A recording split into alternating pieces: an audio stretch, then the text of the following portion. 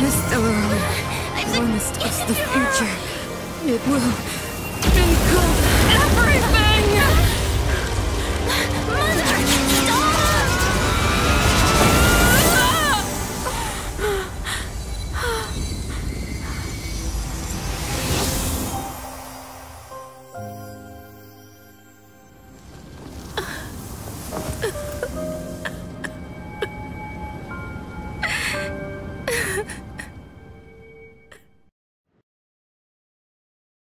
It's over. Mother, did you wake up from that dream? Wow. That was a tough trailblazing expedition. We made it! But, uh, I've informed Himeko and Mr. Yang already. They'll seal the Stellaron. nice! Crisis on this world is basically over. Ri- hmm. The storm still rages on. Now that the Stellaron is sealed, the eternal freeze will slowly recede. Fragmentum won't aggressively expand anymore, but nor will it disappear. Jarilo 6 has a chance to return to life. But it will take time. it will depend on the efforts of the people here. Thank you. All of you.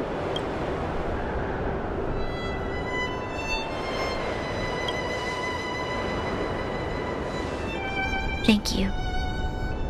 I'm I'm fine. Don't worry. There is still much to do.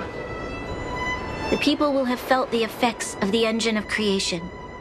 There are so many questions to answer, so many truths to reveal. I don't know whether I can get the people to accept all this.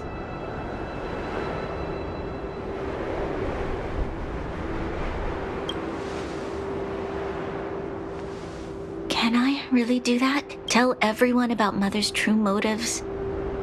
About a lie perpetrated for 700 years? No. No. No way. Tila, I. I don't know how to explain it.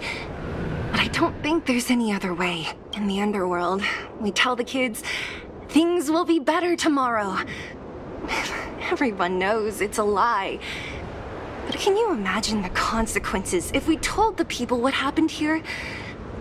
They'd be devastated. If we can't trust the Guardians, who or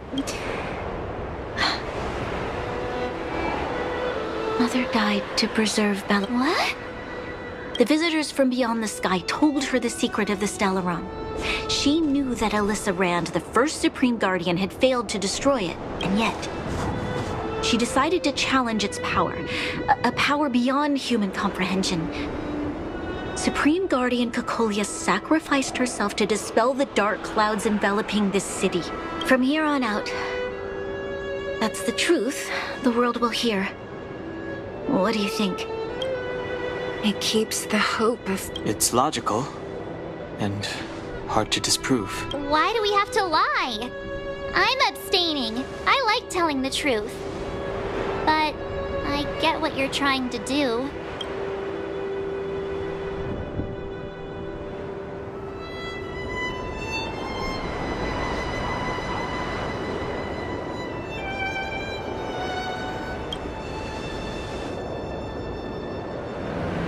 Sorry.